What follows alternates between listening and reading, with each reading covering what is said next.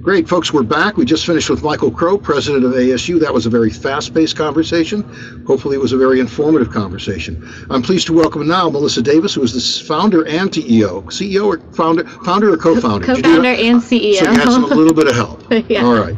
Uh, GoEnnounce. And Melissa, rather than me trying to explain what it is that you do with GoEnnounce, I'm going to let you, you do that first. All right? Sure. Um, GoEnnounce is a way for students to announce and share and track all of their educational and extracurricular achievements in a social space so that we also provide access to real opportunities. They can fundraise and access exclusive brand sponsored scholarships as they're sharing these achievements. And it's also a tracking tool. So it creates a real time e portfolio of everything they're doing year after year, tracking everything from volunteer hours to science projects in a safe social space. And this is a private e-portfolio, though, in the sense it's not necessarily sponsored by individual schools.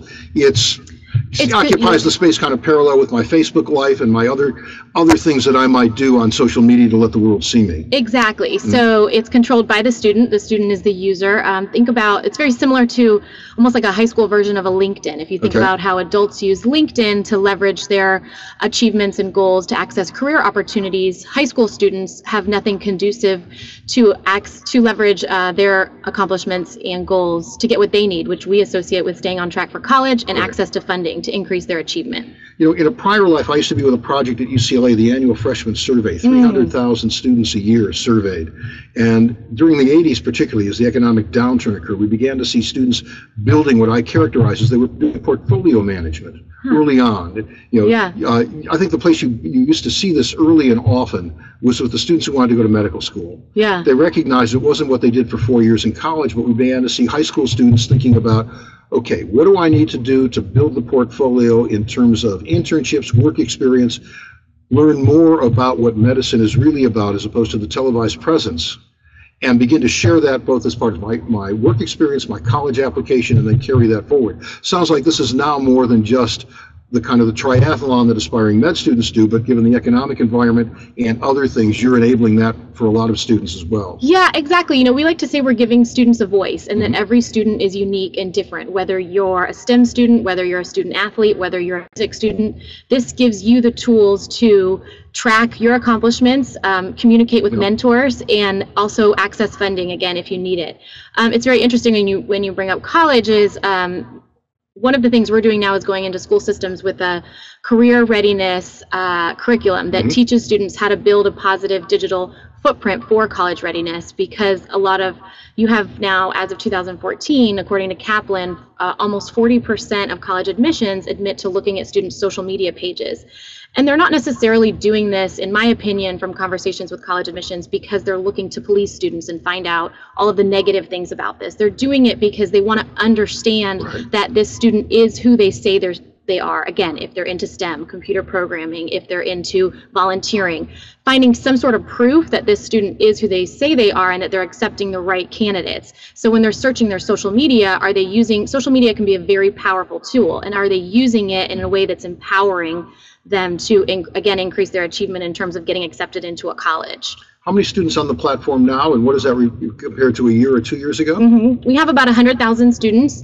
Right now, we're growing by about 6 to 8% per month. Um, a year ago, uh, we had just about 40,000 students. Um, and now, going into school systems next fall, we've just launched the curriculum recently, and it's already been picked up by over 30 districts across the nation, including the 11th biggest district in the nation. So, as of next Which fall, is, you may as well give them the plug. Palm Beach County. Okay. So, we're very excited to be working with them. Yeah.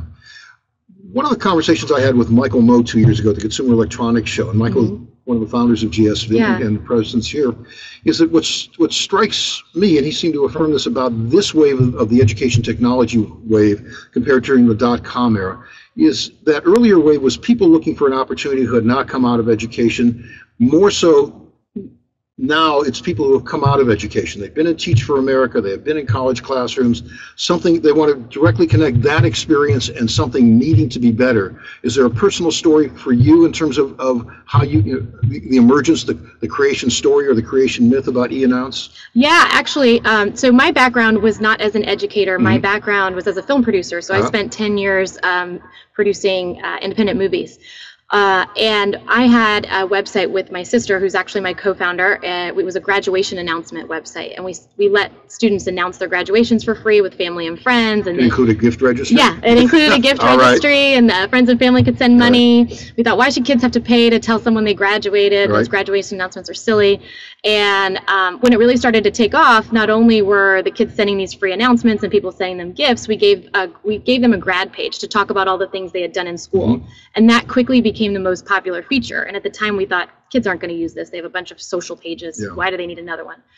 But what was interesting was we had a comment feature on that page, and all the comments from the friends and family were related to I didn't know or I could have helped. And we thought, well, who cares about graduation? This is the first 18 to 22 years of a student's life. They go through tons of ups and downs, and they should be able to connect their network to their goals and accomplishments so that they can increase their achievement. And basically, that they weren't leveraging social media. They're, they're on social media all day, but there really wasn't a tool for them to leverage what they wanted to do to kind of access their goals and increase their achievement. Let me come back to the portfolio aspects of this. Mm-hmm. For s- certain students who apply to competitive colleges, the whole notion of letters of recommendation are very important. Yeah. Do you allow teachers to post as well about Casey was a great student?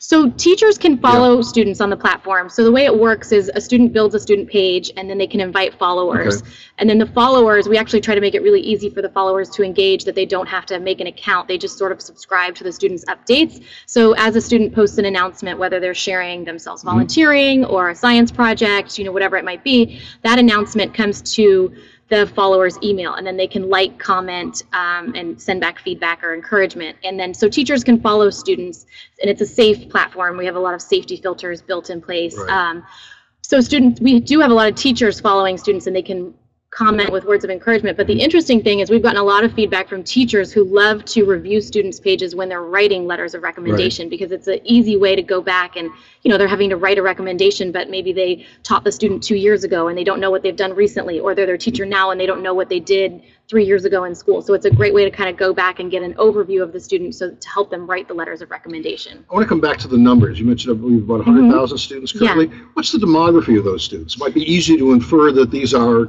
you know, tech savvy high school kids who understand, who are active on Facebook and every place else. yeah You know, it, it's, uh, they do it, and so this is just providing more opportunities opposed to those who may be less savvy or have less resources and understand less about the college going process and how this might help.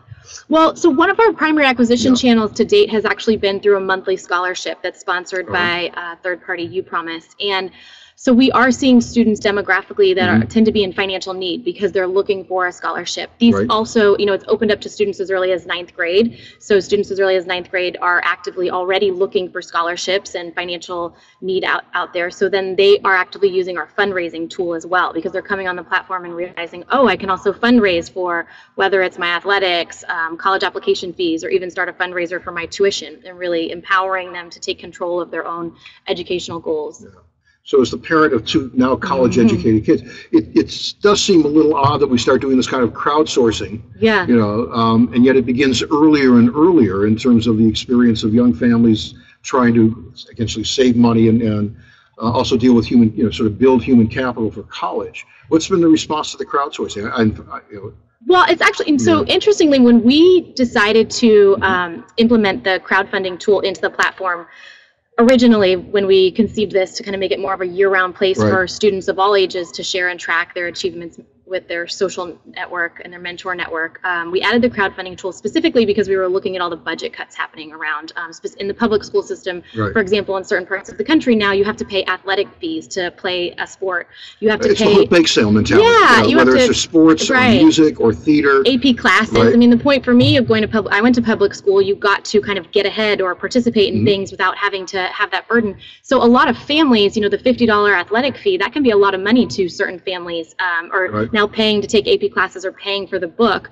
And so really, we added the crowdfunding tool to empower students who might not be able to afford that athletic fee to say fifty dollars. If I can create a fundraiser online and you know put that out to my network and ask for five dollars for each from each person I might know, or you know, kind of put that out there and crowdsource that to again empower them to kind of take control of that if their family isn't in a situation to immediately help them.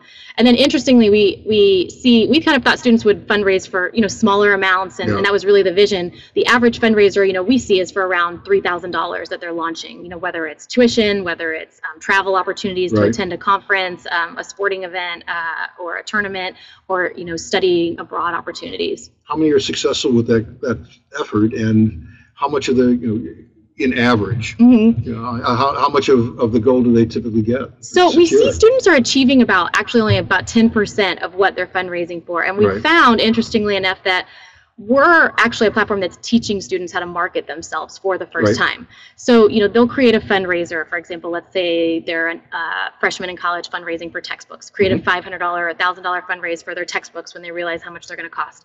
And they'll write a few line description and post it on their Facebook wall once and kind of spend more time writing into us saying, but I didn't get any donations than really marketing themselves and learning Right. that, you know, they have to send constant reminders instead of just writing, I need textbooks. It should be about why this is, why these textbooks are important to them, why this class is important to them, how it's going to, you know, go towards their major and what they want to do in the future. And so really, you know, we've had to make a lot of tweaks to the platform to almost like think for the students. Teach again, teaching them how to market themselves, teaching them how to sell themselves, teaching them how to put So- it out there So in the context of those tweaks, how much user education really goes on? Is it a matter that I just go to a page and I fill in? Are you running to uh, sort of sidebar tutorials and other kinds of short video Yeah. moments to help students understand social media, marketing, uh, Current- the the messaging? Mhm. Currently not portfolio- not video. We're Yeah. looking to add a lot of video because we know Yeah. that's what students students students like, and it makes it easier. Um, you know, it's a lot of text now. When they create a fundraiser, for example, they have to answer a series of questions about why Mm-hmm. it's important, what they're going to do with the money, um, and that was something we just launched to the fundraising. You know, we made improvements to the fundraising platform to make them be more successful just a couple months ago,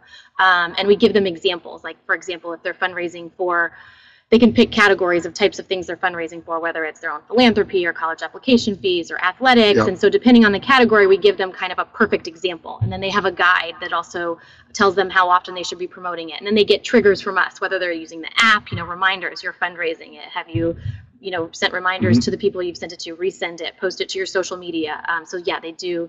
It's a lot of triggers from us and, Yeah. you know, kind of guiding them along the way. It's been a long time since I've been in an obstetrician's office, but you go to an obstetrician's office, you see all these pictures of happy babies. You know, these are the kids I've delivered, you know, for the, on the part of the physician. Yeah. Um, do you have those stories as well? Um, yeah, it, interestingly, you know, it, at first our kind of super users were more of um, the the type A student. You know, it was Right. really more of like this excited to kind of be a nerd and talk about Right. all of their achievements, which you know we thought was, were awesome, and they still tend to be still are very active super users, posting multiple things a day. You know, we thought, oh, this is something a student will update their page once a month, Mhm. maybe twice a month, and and then those students are using it again multiple times a day. They're just Yep. really excited, which is awesome. Um, but you know, for us, it's kind of navigating out of that not that we don't want them to use it because this is of course a tool for them Yeah. um, but how do you teach the students who are getting frustrated in school because they're not straight A students? They didn't get perfect test scores. That you know what? What That are you doing? me. Yeah. What are you doing after school? What are Mm-hmm. you doing on the soccer team? Where did you volunteer? What are your you know your music interests? Like that again when we kind of go back to giving students a voice and now we're really excited about this going into Mhm. the classroom where it can be something teachers work with a student on where it shouldn't be oh this anxiety of well I don't have anything to post or I didn't get my science project back and get an A plus on it but you know I don't have anything to be proud of and kind of teaching them that yes you do and your own individual unique achievements are very important to who you are and someone's going to be Sounds very like you're helping students with that journey of self-discovery in ways Yeah. that, when we talk about college and so much of the attention, President Crow, who just was in here a few moments ago, Mhm. talked about so much focus on elite kids and hyper-competitive colleges, and most of us are not part of that world. yeah You're helping a lot of students with that journey of self-discovery. Right. Yeah, and that's why you know again we're thrilled to be Mhm. going into school systems because I think it should be something a teacher is working with a student on. It's just as important when you talk about college readiness. If a goal of you know secondary uh, or you know middle school and high school education is to prepare students for college, they have to be working with them a not only on their social media because it can get them into trouble Yeah. and teaching them how it can be very empowering, but also on understanding their own strengths and weaknesses and and not letting them get discouraged by this college application and competitive process Right. and and letting them understand where their own strengths lie. Great. Melissa, thanks very much for joining us. Are you yeah, having a good thank conference? you. Yeah, it's been wonderful so far. Great. All right. so again, I'm talking with Melissa Davis, who is a co-founder and CEO of GoEnnounce. Uh, we're going to take a quick break, and next up will be Dan Greenstein, who is the program director, post-secondary, the director, pardon me, of post-secondary success for the Bill and Melinda Gates Foundation. We'll be right back. Thank you.